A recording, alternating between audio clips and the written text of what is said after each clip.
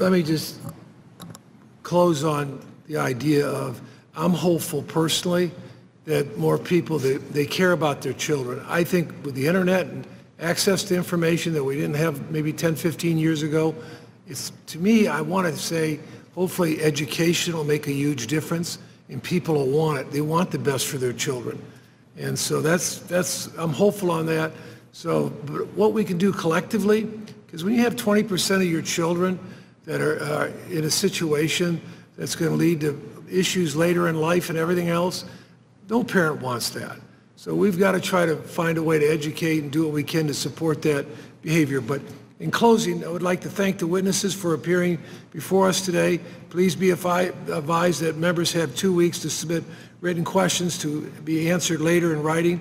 Those questions and your answers will be made part of the uh, formal hearing record. With that, the meeting stands adjourned.